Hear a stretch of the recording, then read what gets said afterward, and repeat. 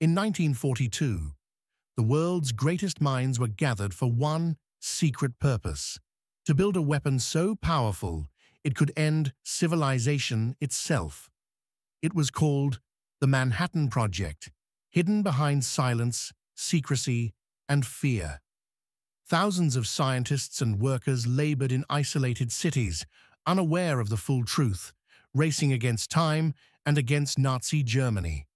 Albert Einstein warned of the danger, while J. Robert Oppenheimer pushed science beyond its limits. Then, on July 16, 1945, the desert turned brighter than the sun.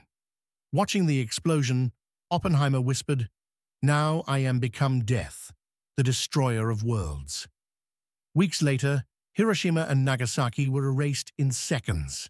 One secret project changed war forever and forced humanity to face a terrifying truth. Science had learned how to destroy the world it was meant to protect.